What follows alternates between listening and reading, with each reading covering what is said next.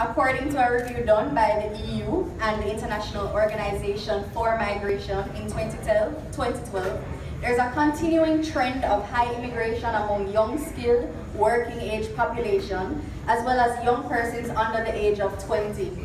The trend in immigration of nurses and teachers has continued since the 1990s, and students at different levels of secondary and tertiary education component of the tertiary education component still continue to leave.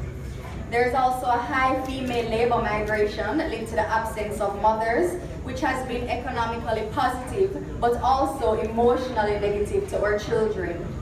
Some immigration is short-term and involves persons on short-term labor contracts through government-managed programs and the US the USA and Canada, and also in agriculture and the hospitality industry. The migration in issues facing Jamaica are primarily related to labor oversupply, under-absorption and mobility resulting in brain drain or waste, and return and irregular migration. The responsiveness of policymakers to these challenges has been uneven, and we believe as Shapers that much more needs to be done to ensure that there is a positive interface between migration and development in Jamaica.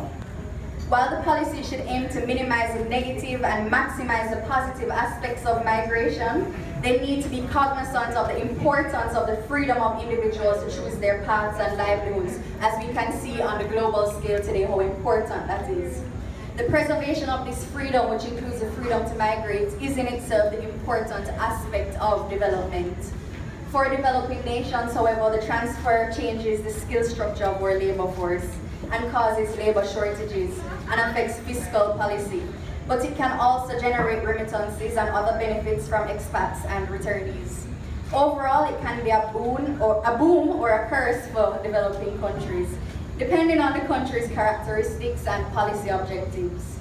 The objective here today is to determine, based on Jamaica's characteristics, what would be the optimal policy directives to ensure our boom and in our developments for the success of Vision 2030.